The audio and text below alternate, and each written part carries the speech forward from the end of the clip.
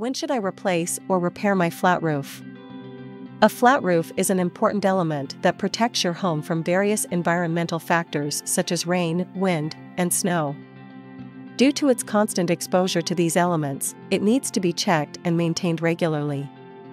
Here are some signs you need to replace or repair your flat roof. First, ponding water. If there is standing water on your flat roof for more than 48 hours, it's a sign that your roof is not draining properly. Ponding water can lead to roof leaks, which can cause significant damage to your property. Second, cracks and tears.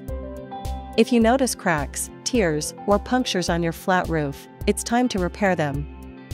These damages can occur due to weather changes or foot traffic.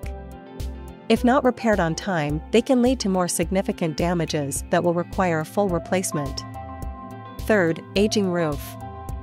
Flat roofs have a lifespan of about 10 to 15 years, depending on the material used.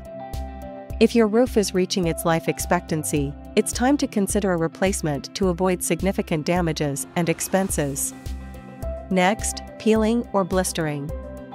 If you notice that the surface of your flat roof is peeling or blistering, it's an indication that the underlayment and materials are compromised.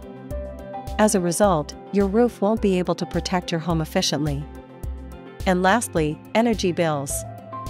If your energy bills are higher than usual, it could be a sign that your roofing is damaged and air is escaping through the roof.